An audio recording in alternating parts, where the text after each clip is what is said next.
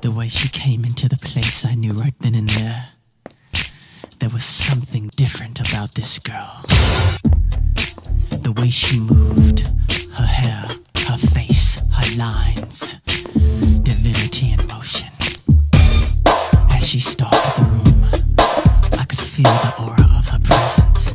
Every head turned, feeling passion and lust. The girl was persuasive, the girl Was dangerous. One thing